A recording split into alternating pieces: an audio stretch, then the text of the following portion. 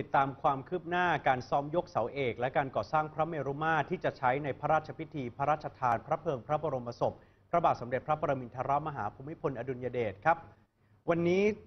เวลา 10นาฬิกา1นาทีพลเอกธนศักดิ์ปฏิมาประกรณ์รองนายกรัฐมนตรี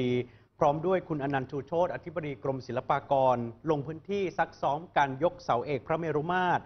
ตรวจสอบความพร้อมของสถานที่ในการจัดพิธีบวงสรวง บริเวณท้องสนามหลวงที่ใต้ พิธีนี้จะจัดขึ้นจันทร์ที่ 27 กุมภาพันธ์นี้ มีพลเอกประยุทธ์จันโอชานายกรัฐมนตรีเป็นประธาน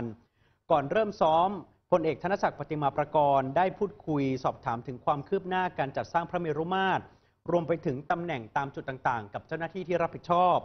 การซักซ้อมวันนี้ซ้อมใหญ่เหมือนจริง ใช้รถเครนจำนวน 2 คัน แบกเสาเอกขึ้นก่อนแนวราบ จากนั้นจะปลดเครนขนาด 100 ตันออก 1 ตัว แล้วใช้เครนขนาด 220 ตัน ยกเสาเอกขึ้นในแนวดิ่ง แล้วเข้าตำแหน่ง เสร็จพิธีจึงจะยกเสาที่เหลือเข้าอีก 3 เสาในเวลาเดียวกัน เจ้าหน้าที่เตรียมรถเครนเอาไว้ 5 คัน จากนั้นจะใช้ระบบน็อกดาวน์ยึดด้วยน็อตที่มีความมั่นคง 100%โครงสร้างเหล็กประกอบพระเมรุมาตรทั้งหมด เมื่อแล้วเสร็จจะให้ช่างไม้ ช่างประติมากรรม เข้ามาดำเนินการประดับตกแต่งต่อไปครับ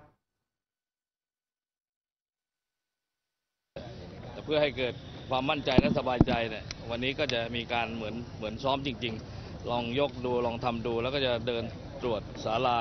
ทั้งหมดนะครับ แล้วเสร็จแล้วก็จะไปดูที่โรงขยายแบบท่านนายก และคณะผู้เกี่ยวข้องทั้งหมดเนี่ยก็จะได้ไปดูสิ่งเหล่านี้เป็นสิ่งที่รัฐบาลประชาชนและทุกคนในประเทศไทยเนี่ยได้ร่วมใจกัน เพื่อจะสร้างพระเมรุมาตรเนี่ยเพื่อถวายให้กับในหลวงรัชกาลที่ 9 ของเรานะครับ ให้สมเกียรติยิ่งนะครับ การขึ้นเนี่ยก็จะต้องจะให้ให้เสร็จภายในวันจันทร์เลยวันตามเลิกนะครับ เพราะว่าสี่เสาเนี่ยจะต้องพึ่งพาซึ่งกันและกันฉะนั้นความแข็งแรงความคงทนเนี่ยก็จะจะต้องเป็นเป็นเลิศนะครับฉะนั้นถ้าจุดนี้ดีการวงสวงเป็นไปด้วยดี ฉะนั้นการก่อสร้างเราก็จะเป็นไปด้วยดี ฉะนั้นที่ผ่านมาจากพิธีต่างๆ ที่เราได้ทำถือว่าเป็นเป็นมงคลและมีสิ่งที่เกื้อกูล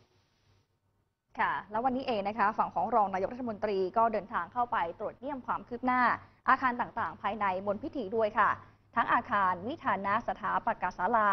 อาคารจัดสร้างพระโกฏจันทร์ อาคารปั้นหล่อประติมากรรม รวมไปถึงอาคารเขียนสีและตกแต่งองค์ประกอบนะคะ เพื่อเป็นการเตรียมความพร้อมสำหรับวันจันทร์นี้ เพราะว่านายกจะเดินทางมาตรวจเยี่ยม หลังจากพิธีบวงสรวงยกเสาเอกเสร็จสิ้นค่ะเดี๋ยวเราติดตามทุกความคืบหน้าในเรื่องนี้กันด้วยนะคะ